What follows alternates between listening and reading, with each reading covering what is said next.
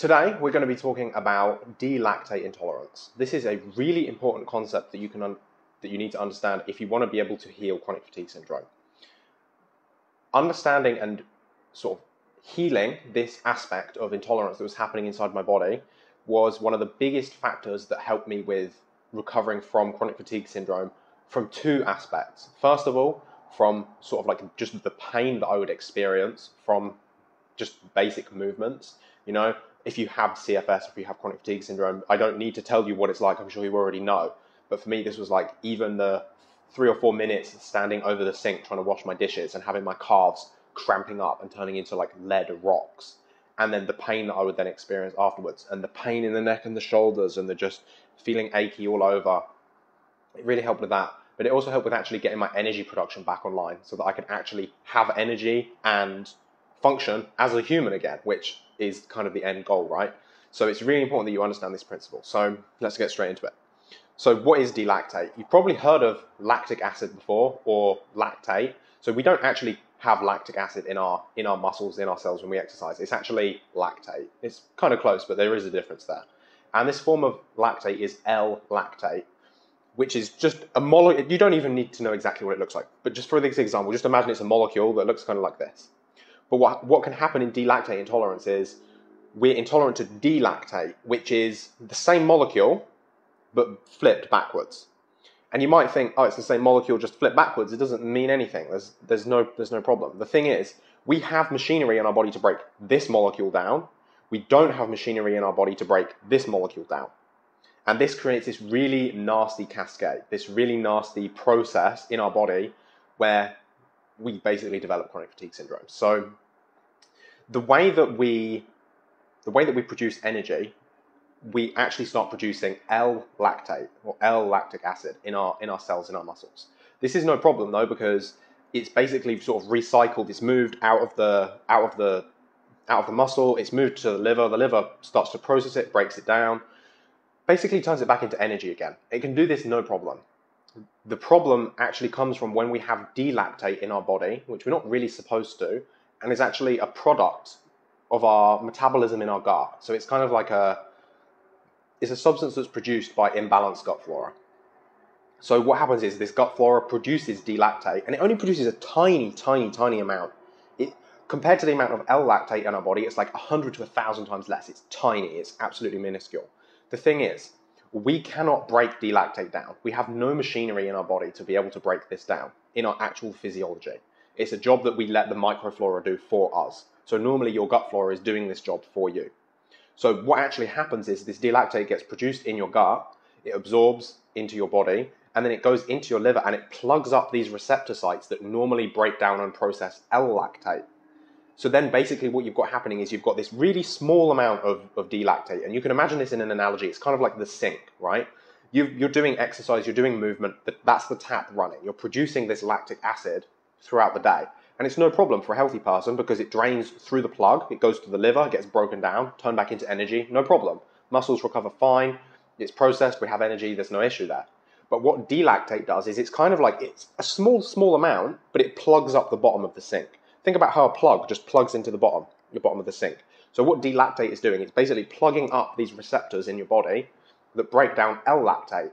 And then this lactate, this L-lactate that you're producing just from moving and just from thinking, begins to build up in your body, builds up in your tissues. Your liver has no space to process it because these receptors are basically plugged up.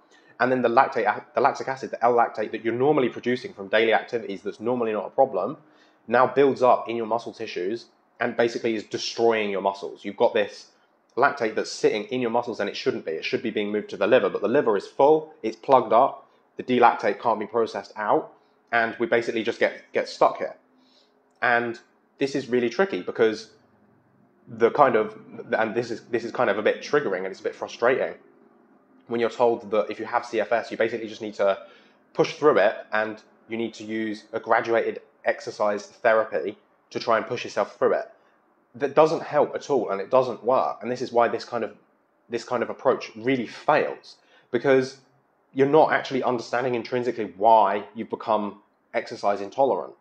So if we see that this is actually the problem, this is one of these. So this isn't the whole picture with CFS, but it's a huge part. I'd say this was at least 40 to 60% of me recovering from chronic fatigue syndrome was understanding this principle and then fixing the root cause of this problem, which we're going to get to in just a second. So there's there's more to this, but this is a huge part, and you really need to understand this. And this is especially true if you get achy muscles or if you have pains, and especially if it's like fibromyalgia as well. If it's like a CFS and a fibromyalgia kind of onset, so you've got muscle pain, you're you're, you're hurt to the touch, stuff like that. It's even more important in that case. So how do we fix it? Hopefully now you understand a little bit about how this problem comes about. We have to try and figure out how we fix it. So as I said, the D-lactate that we're exposed to that plugs up the sink so we can't process our L-lactate actually comes from our gut, comes from our gut flora, from a flora imbalance. So we need to correct this gut flora imbalance. Thing is, we have to do this really slowly. We have to do this really gently over time. And I know a lot of people, myself included, you take a probiotic and it actually makes your chronic fatigue syndrome worse. And this is because when the healthy organisms that you're taking in the probiotic fight with the unhealthy organisms in your gut that are producing the D-lactate, they actually release more of it in this process. They plug up that, that, that sink and they make you feel even worse. You also have to be really careful what type of probiotic you are using because many conventional probiotic powders and even things like fermented foods like sauerkraut and kefir and things like that, they actually have high amounts of D-lactate in them already just because of the fermentation process.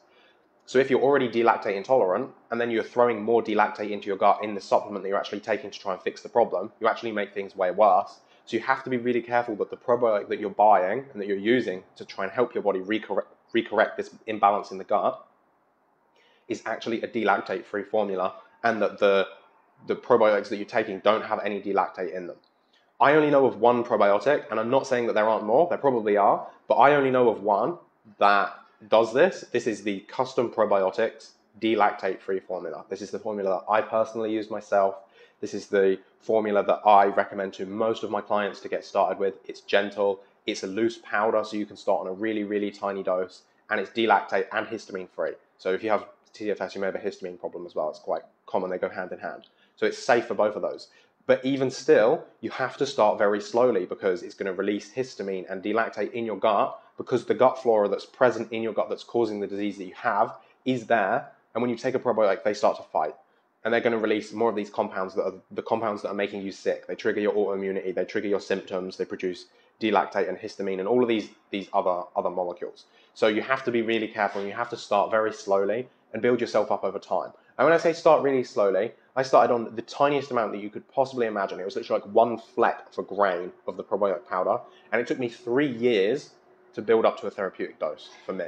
So this took me an extended period of time. I don't think it has to take this long for everybody, but my CFS was quite severe. And there were lots of other factors in this equation that I wasn't taking care of. There's that other 40 to 60% of the CFS issues, which really comes down to mitochondrial function. I could do another video about that if you're interested, let me know.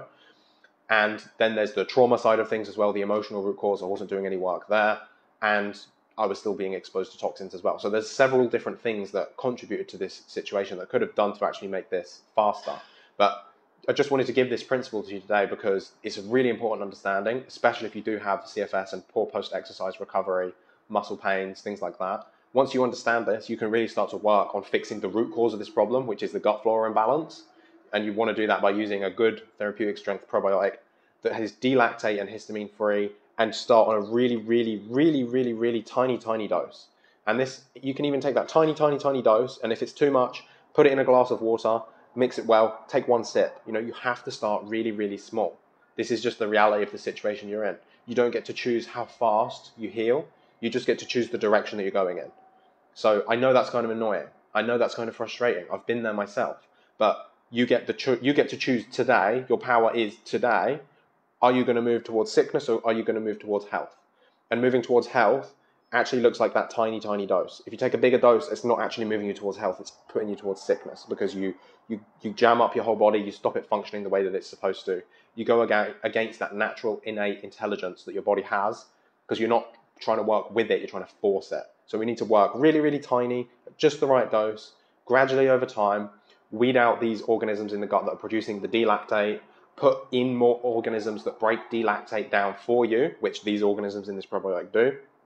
And eventually you'll be able to exercise again, have a normal uh, lactic acid and, and L-lactate function inside your body. It can go to your liver, get broken down, be used as energy again, and you go through this cycle without basically destroying all of your muscles in the process. So if you have any questions about this, please do leave me a, a comment below in the in the in the chat box below. I know it's a, maybe a bit much because there's a lot to unpack here, but this is a really important principle. I've tried to simplify it as much as possible. My suggestion would be the D-lactate-free probiotics by Custom Probiotics. There are other options, but I don't know what they are. And if you ask me, I probably don't have experience with them. I know these ones are safe. I know these ones are good. I use them myself. I use them with my clients. This is why I recommend them. I am not affiliated. If I could be, you damn sure I would be. You know, I'd love to make a little bit of money while you get some really awesome healing results. But they don't have an affiliate program, unfortunately. So I'm not affiliated. Not because I can't, not because I, I don't want to be, but because I can't, because they don't do it. So they're the, they're my favorite probiotics, basically, kind of across the board. I hope this has been really helpful for you. And as I said, if you have any questions, please do let me know. I'll see you soon. Bye.